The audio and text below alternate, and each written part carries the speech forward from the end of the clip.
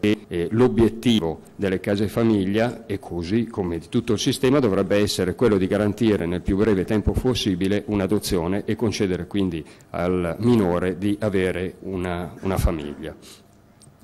Ecco, quindi i motivi che ci hanno indotto a, a, a, presentare questa proposta e quindi a chiedere l'istituzione dell'osservatorio sono proprio legati alle problematiche che, eh, che ci hanno fatto presenti eh, le case famiglie e le, associazioni, eh, e le associazioni dei familiari. Qui con noi, fra l'altro, eh, ringraziamo anche il, i nostri colleghi Nicola Molteni e Matteo Bragantini e eh, Emanuele Prataviera e eh, gli avvocati Giorgio Aldo Maccaroni e eh, l'avvocato Maria Gabriella Zimpo che sono eh, gli avvocati che ci hanno aiutato a, a, a, a, scrivere questo progetto di legge. Io adesso lascio la parola a Nicola Molteni e vi ringrazio. Sì, io eh, aggiungo ben poco rispetto a quello che ha eh, appena illustrato il collega Rondini in merito a questa proposta di legge. Eh, dico che eh, il tema delle case famiglie e eh, il tema eh, dei minori e il tema eh, della proposta di legge legata all'istituzione dell'osservatorio nazionale per il monitoraggio del funzionamento di queste case famiglie si inserisce in una, eh, in una valutazione più complessiva che eh, la Lega eh, da parecchio tempo fa su eh, un tema, il tema della famiglia, che è un tema a cui noi sta particolarmente eh, a cuore, a cui eh, si inseriscono altri due aspetti importanti. Il primo, il tema dell'affido condiviso e quindi il riferimento alla legge eh, 54 del 2006, che è stata una vera e propria svolta eh, storica importantissima nel rapporto tra eh, genitori e figli al momento della separazione con tutti i drammi e le conseguenze che una separazione tra i genitori può determinare sulla gestione, sull'istruzione e sul mantenimento dei figli eh, stessi, una legge storica che ha eh, avuto poi nel corso degli anni eh, dei problemi di applicabilità e di applicazione particolarmente evidenti il motivo per cui eh, è presente appunto il collega eh, Prataviera, la Lega ha presentato eh, una mozione a giugno che ovviamente eh, prossimi, nelle prossime settimane chiederemo di calendarizzare proprio ricostruendo tutto il percorso dell'applicazione e ehm, dell'introduzione della legge 154 del 2006 chiediamo eh, al governo la possibilità di poter intervenire proprio per renderla più applicabile e soprattutto rispondente a quelle che erano le finalità, gli scopi eh, della legge stessa sull'affido condiviso. L'altro tema che ci sta particolarmente eh, a cuore e che si ricollega inevitabilmente al tema della casa famiglia, al tema dell'affido condiviso, che sta vedendo tra l'altro eh, Regione Lombardia, il Presidente Maroni in prima linea, eh, impegnato con grande attenzione il tema dei, padri, dei papà separati, che è, i padri separati, che è eh, inevitabilmente una delle eh, che configura il rischio di essere una delle nuove emergenti eh, povertà, tant'è che Regione Lombardia, proprio per far fronte a questa necessità e a quello che sta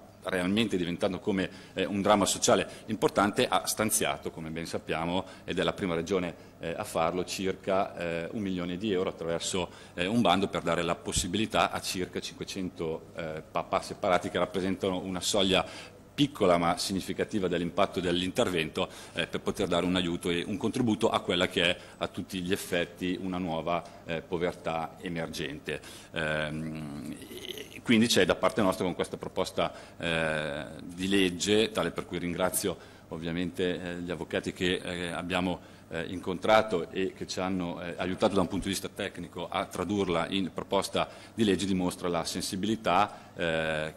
che la Lega ha su questo tema e che manifesteremo ulteriormente, oltre che con eh, il deposito di questa proposta di legge, anche con i successivi atti, tra cui con eh, la calendarizzazione che chiederemo della mozione eh, su una migliore applicabilità della legge 54 del 2006. Grazie. Vi ringrazio e ringrazio soprattutto ecco, gli onorevoli qui presenti, l'onorevole Giorgetti, l'onorevole Marco Rondini, Nicola Molteni e Matteo Bragantini, nonché ecco, l'avvocato Maria Gabriella Zimpo e tutti voi che siete intervenuti, perché questo progetto dell'osservatorio ha una valenza veramente importante. Ce l'ha perché sappiamo ecco, qual è la situazione in materia di adozioni. La situazione è complicata, è complicata e difficile perché si dice ecco, che ci sia carenza di bambini che, dati, che, possono essere dati in adozione In realtà non è questa la vera situazione, perché i bambini a volte ci sono, c'è la disponibilità, però ecco, a seguito di procedure troppo farraginose e di situazioni che andrebbero cambiate, ovviamente ecco, questi bambini spesso e volentieri stazionano troppo a lungo in queste case famiglia. L'obiettivo primario, come sottolineava anche prima l'onorevole Rondini, qual è? L'obiettivo primario di questo strumento è proprio quello di consentire che i minori stiano il più breve tempo possibile dentro le case famiglia e quando ci sono i presupposti necessari vengano dati in adozione a famiglie meritevoli di averli in adozione. Prima ancora di questo però vorrei fare un passo un pochino indietro in questo senso, cioè dire per prima cosa che prima di parlare di adozioni parliamo del sostegno necessario e indispensabile che deve essere dato alle famiglie che si trovano in condizioni di bisogno e a, volte, a cui a volte vengono tolti i bambini e vengono messi in stato di adozione. Il primo obiettivo che dobbiamo perseguire è quello di impedire che queste famiglie in stato di bisogno possano trovarsi a recidere un legame così importante che è quello con i propri figli. Per cui la prima cosa, come anche dice la legge eh, del 2001, la 149, è quella di sostenere da parte dello Stato, delle regioni e degli enti locali di mettere in atto tutti gli strumenti per sostenere il nucleo familiare d'origine. Solo dove, ed ecco l'estrema razio delle, eh, delle, delle, adozioni, solo dove non c'è la possibilità o perché il minore è orfano o perché non solo i genitori, parlo anche del, dei parenti entro il quarto grado che devono essere interpellati e messi in gioco in questa situazione, solo ecco, ove non ci siano queste figure di riferimento, ovvero eh, nonostante si sia fatti tutti i tentativi, non c'è stata la possibilità di consentire al minore di rimanere nel nucleo familiare d'origine, allora ecco, parliamo di adozioni e parlando di adozioni cerchiamo di migliorare questo concetto delle adozioni. Ecco perché mettiamo in campo l'osservatorio. L'osservatorio quale strumento che ecco, nell'ipotesi fatta di bambini che devono essere dati in adozione faccia sì che ci sia un controllo su queste case famiglia che nessuno esercita fino adesso, né nessuno ha mai esercitato, un controllo che non significa soltanto controllo sanzionatorio come qualcuno potrebbe pensare, significa un controllo necessario per stabilire le priorità di intervento nei confronti di questi istituti per consentire poi di coordinare e fare da intermediario, ecco l'altra funzione dell'osservatorio, non è solo il controllo ma anche il coordinamento e l'intermediazione per conto di queste case famiglia. Case famiglia che ecco, possono e devono ovviamente essere premiate quelle più meritevoli, mentre auspichiamo la, la chiusura di quelle invece poco meritevoli, ma quelle più meritevoli è chiaro c'è sempre l'esigenza che il minore, anche se per un, di, eh, mm, per un breve periodo di tempo, cosa che noi auspichiamo, debba comunque sempre soggiornare all'interno di queste case famiglie. Allora è chiaro che dobbiamo consentire che le stesse, e ripeto, le più meritevoli, possano continuare ad andare avanti ricevendo i finanziamenti necessari e facendo sì ecco, che eh, vengano eliminate tutte le barriere che si frappongono a una situazione che si vuole tutelare il più possibile all'interno proprio di queste case famiglia. Quindi crediamo nell'istituzione di questo strumento, questo strumento che potrà migliorare le adozioni, perché sarà uno strumento che adesso manca, che consentirà appunto il controllo, come detto già, il coordinamento e l'intermediazione di queste case famiglia. Qualora ecco, eh, vi siano dei bambini che possono e devono essere dati in adozione, è chiaro l'osservatorio farà sì e si darà da fare perché ciò avvenga nel minor tempo possibile, perché è chiaro avere una famiglia per un bambino è una cosa più importante che trovarsi in una casa famiglia, seppur con tutti i comfort necessari e con tutte le figure di riferimento che può avere. Poco fa ecco, volevo dire, aggiungere un'altra cosa, L'onorevole eh, Nicola Molteni ha sottolineato un altro aspetto importante di cui abbiamo avuto modo di parlare succintamente ma che svilupperemo meglio. Il tema della famiglia più in generale, ecco, ci battiamo proprio perché migliorino i diritti delle famiglie e dei minori a tutto eh, tondo. Il tema dell'affido condiviso, questo è qualcosa, ecco, io lo accenno, non è questa la sede per parlarne, ma che faremo insieme all'onorevole Molteni e agli altri onorevoli qui presenti per elaborare un testo che io sto cercando di preparare insieme anche ad altri magistrati, oltre che avvocati, e appunto che vedremo poi a 360 gradi anche con gli amici onorevoli, per arrivare a un testo che migliori l'attuale legge dell'affido condiviso. Perché c'è da migliorarla questa legge? Ecco, prima si sottolineava il ruolo dei padri, questo succede, faccio un breve accenno perché ovviamente qua parliamo dell'osservatorio, però mi sembra anche giusto fare un accenno su questo. Eh, l'affido condiviso è, è applicato male, è una sorta di vecchio affidamento esclusivo con diritto di visita, perché nel momento in cui nei tribunali questa è la prassi, viene individuato il cosiddetto genitore collocatario in via principale e viene applicato un diritto di visita al padre, altro non è che un affido esclusivo camuffato che si vuole chiamare affido condiviso. Quindi siamo lontani dall'aver raggiunto lo spirito della norma che era quello della bigenitorialità perfetta. Ci sono dei passi da fare, però non bisogna fare passi falsi. Ecco perché io sto cercando, prima di arrivare a un testo che poi sottoporrò all'onorevole eh, Molteni e a voi tutti, ecco, di interpellare dei magistrati e degli altri avvocati per sentire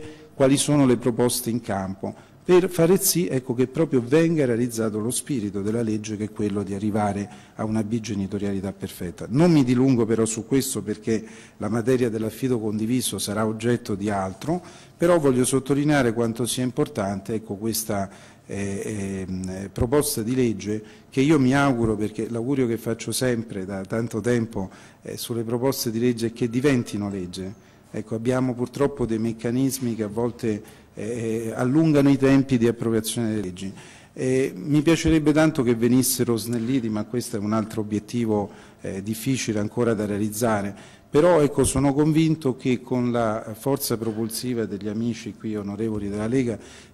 molto attenti al sociale, al tema della famiglia, riusciremo veramente a far sì ecco, che venga calendarizzata questa proposta di legge, venga discussa nelle opportune sedi referenti e deliberanti e diventi veramente una legge di cui c'è bisogno. E facendo così veramente cercheremo di fare un passo avanti nel migliorare le adozioni, sempre con l'ottica principale con cui ci dobbiamo muovere, cioè guardare all'interesse dei bambini coinvolti. Dice la legge diritto del minore ad una famiglia, la legge 149. È vero, è un vero e proprio diritto che non si può negare a nessuno.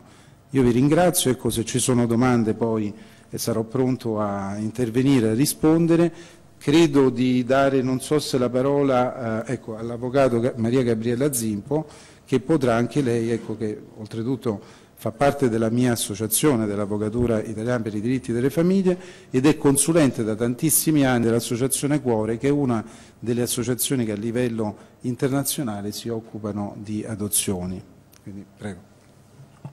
Buonasera a tutti. Mm, chiedo scusa per la voce, ma sono reduce da una brutta influenza, quindi eh, potrei diventare anche un po' rauca. Al di là di questo volevo ringraziare sentitamente gli onorevoli qui presenti per aver dedicato attenzione ad un argomento così eh, importante, così sensibile, eh, perché eh, al centro di questo mondo di cui stiamo parlando, in tutti gli ambiti ora citati, eh, c'è al centro il bambino, io lo chiamo bambino, non minore, mi piace di più, sono molto attenta per essere un avvocato fanatico no, di queste situazioni, cioè chiamare bambino, minorenne, non minore, ha una, una, un significato molto molto importante. Questo per dire che cosa?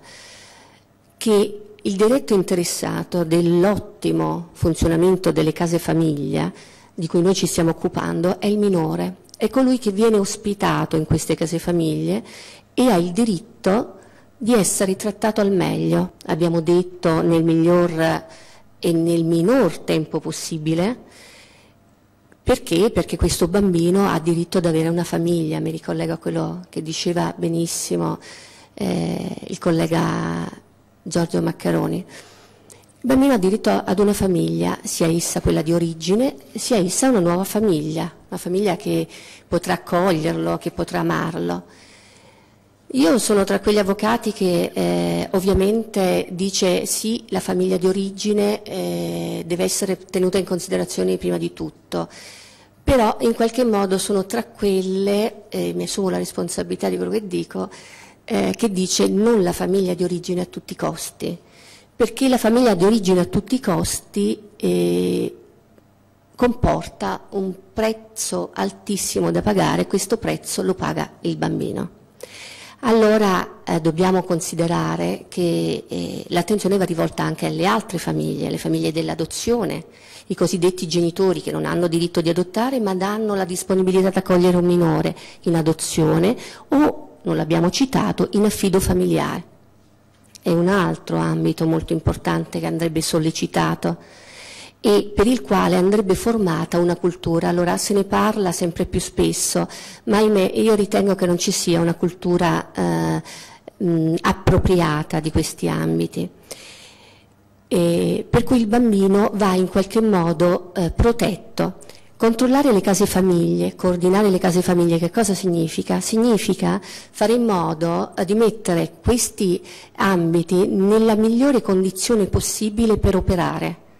per, per garantire che, che, siano in qualche modo così in grado di dare quegli standard minimi professionali in termini di educazione, di assistenza di questi minori, psicologica e anche fisica il più delle volte. Perché questi bambini, immaginate l'orrore che provano quando vengono staccati dalle famiglie e inseriti in una casa famiglia, devono trovare il luogo più accogliente del mondo. Quindi per fare sì che ciò avvenga dobbiamo mettere gli operatori in condizioni di poterlo fare. Vi cito un piccolo caso, ovviamente senza farci, c'è un bambino che è nato due mesi fa ed è ancora in ospedale, nonostante ci sia un provvedimento del Tribunale che abbia disposto che questo bimbo insieme alla madre venga inserito in una casa famiglia. Ora non si trova una casa famiglia che sia eh, nella condizione di poter ospitare entrambe il bambino rischia di essere ospedalizzato. E che cosa succede? Tutto questo si allungano i tempi. Allora, qual è il problema, secondo il mio modestissimo parere? Qui non esiste, secondo me, un meccanismo che potrebbe essere appunto eh, riferito e dato all'osservatorio di analisi e di eh, comprensione di quelli che sono i meccanismi che prevedono intanto la possibilità di prevedere un numero di posti necessari e sufficiente per far fronte ai bisogni di una comunità, che può essere quella di Roma, del Lazio o comunque poi dell'Italia. E, l'osservatorio dovrebbe far, uh, far questo, dovrebbe cercare di fare quello che la legge già dice, di mettere in contatto tutti i soggetti che operano in questo settore e integrare le loro professionalità, le loro capacità operative in modo tale che non ci siano falle, che non ci siano defaglianze, che non ci siano queste situazioni perché poi effettivamente eh, cioè, le case famiglie tutte cercano di fare il meglio, al di là dell'aspetto economico che hanno già trattato gli altri e capiamo che in questo momento, momento di crisi costituisce un aspetto importantissimo perché poi voglio dire se le risorse non ci sono eh, è un grave danno però anche laddove le risorse vogliono essere messe in un secondo piano c'è un aspetto deletereo di una disorganizzazione di un sistema che purtroppo non ha eh, un coordinatore, non c'è un soggetto che veglia. Ora, senza parlare di, quelle, eh, di quegli ambiti, di quelle case famiglie in cui gli operatori non sono così altamente specializzati, e, e, e, qui si apre ovviamente un ambito di, di, di grave eh, orrore, cioè di, di, di veramente di, eh, di, mancanza istituzionale. Per eh, minimamente eh, entrare nel discorso dell'affido condiviso, io sono molto legata a questo affido perché me ne sono occupata a suo tempo quando la legge fu ehm, eh, modificata, quindi quando la legge 54 del 2006 poi è stata approvata e, e, per quanto tutti abbiano detto ah ma è stata fatta malamente, sono d'accordo, poteva essere fatta meglio, ma io mi ricordo di aver esultato eh, tantissimo in quel momento perché eh, il, poi l'esperienza mi ha dato ragione, eh, ha aperto questo mondo giudiziario nel mondo dell'avvocatura ad una nuova cultura, quella di considerare che i bambini hanno diritto ad una madre e un padre. E non ha due genitori in percentuali diverse. Ma questo non per fare il tifo per la mamma o per il papà, perché già pensare questo è errato. senza creare sfavori a nessuno. Il bambino deve essere un soggetto che deve essere tutelato da queste diatribe e molte volte, perché lo cito adesso? Perché tanti di questi bambini, a causa dell'elevata conflittualità tra questi genitori, sono coloro che vengono ospitati dalle case famiglie, che loro malgrado vengono allontanati perché l'ostinazione di questi genitori che non hanno ancora eh, capito l'importanza del diritto alla bigenitorialità, continuano a vessare i propri figli che poi vanno a finire no, anche loro ospiti, molte volte ovviamente anche ospiti graditi, nel senso che è lì che trovano la pace questi bambini. Perché io sono rimasta una volta sconvolta da un caso in cui una bambina è entrata in casa famiglia, ha fatto ah", e ha cominciato a cercare la sua stanza, le sue cose, per poter trovare un momento di pace. Allora, questo è un altro motivo in più per poter assistere queste situazioni. Ovviamente non si fa di tutta erba un fascio e per fortuna nomicamente parliamo di pochi casi, ma fossi anche uno, noi ce ne dovremmo occupare. Grazie. Per finire, allora, concetto è abbastanza chiaro sul perché abbiamo voluto fare questa legge e perché la Lega si interesserà su queste tematiche, come ha sempre fatto. Io collegandomi all'ultimo intervento volevo sempre ricordare che è diritto appunto dei bambini avere un papà e una mamma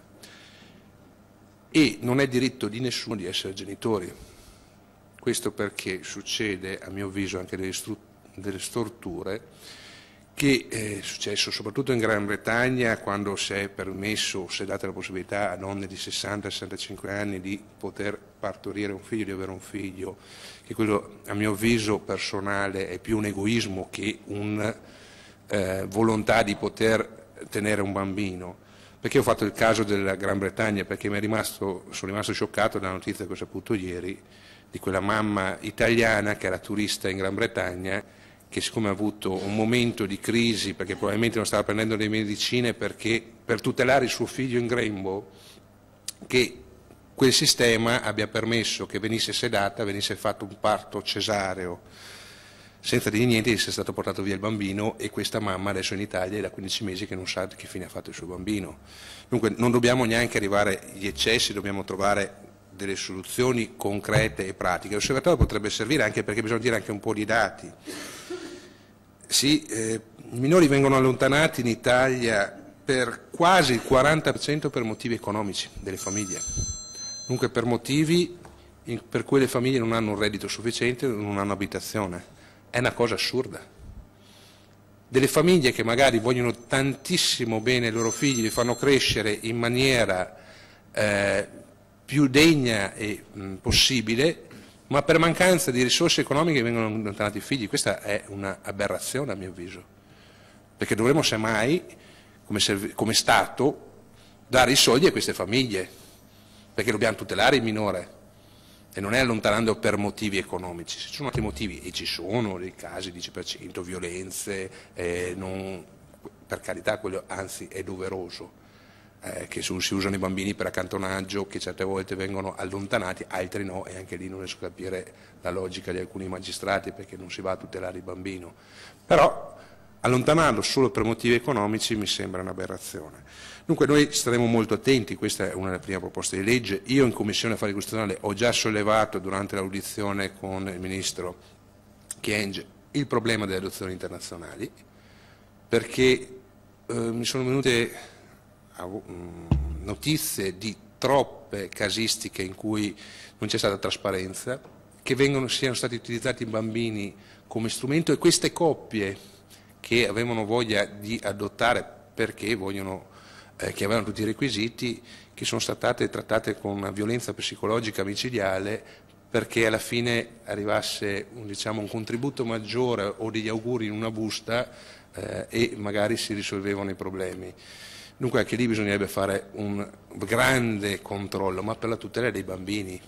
perché noi dobbiamo sempre ricordarci di difendere la parte più debole. In questo caso sono sempre i minori, perché sono quelli che soffrono di più. Soffrono perché essere allontanati sempre, eh, dicevo prima, per motivi economici a 3-4 anni, andare in una casa famiglia, dopo tre anni magari vengono affidati o finalmente adottati, sì, magari gli diamo un aiuto dal punto di vista economico, senza togliere niente a queste grandissime persone che lavorano, però gli manca la loro famiglia se era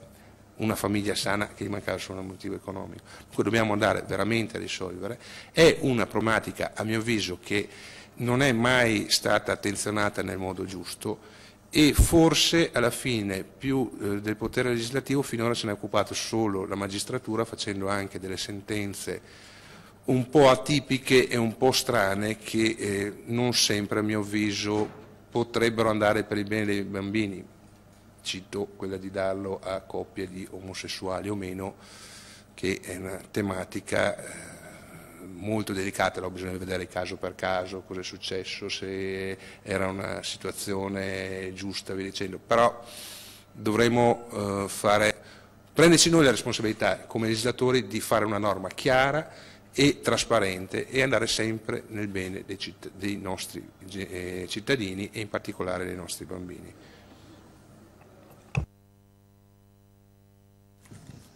Bene, sono domande? No, se no ringrazio tutti quelli che sono... Ah, prego.